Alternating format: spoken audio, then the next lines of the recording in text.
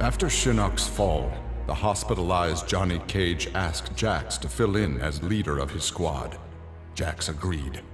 It was a chance to spend time with and protect Jacqui.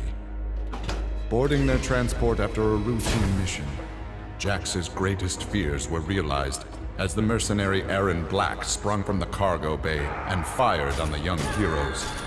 Fortunately for Jacqui and company, Jax's quick reflexes and bulletproof arms deflected the assassin's rounds. Jax quickly subdued Black, then slipped into shock as a red stain engulfed his chest.